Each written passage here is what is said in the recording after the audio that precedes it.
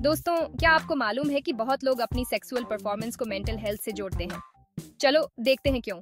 One तनाव भगाओ stress आपकी परफॉर्मेंस को चौपट कर सकता है। रिलैक्स रहने की टेक्निक सीखो। वन खुद पर भरोसा करो। कॉन्फिडेंस बहुत मायने रखता है। पॉजिटिव रहो। वन बातचीत ज़रूरी। अपने पार्टनर से दिल खोलकर बात करो। बात करने से समझ बढ़ती है। वन बॉडी की सुनो। समझो। तुम्हें क्या अच्छा लगता है?